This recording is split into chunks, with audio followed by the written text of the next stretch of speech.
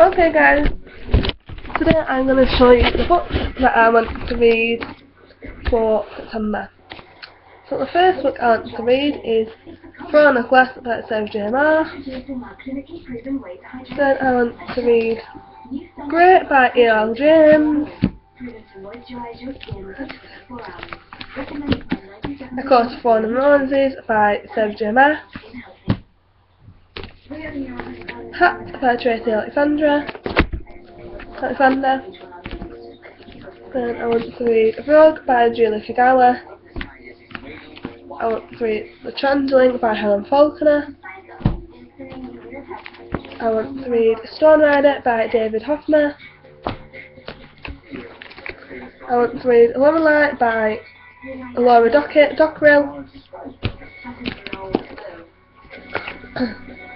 I want to read Birdy by Jessica Lamb. And I went to read the originals for um, Originals of the Resurrection by Julie Clark. All the good Goodreads links to the books mentioned will be down below.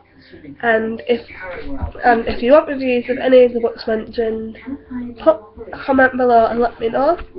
The one I will make from main two I will do a review on is of Glass of course Fawn and Roses.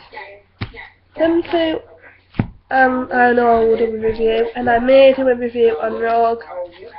I don't know yet. But these two definitely look forward for a review. So bye guys and see you in my next video.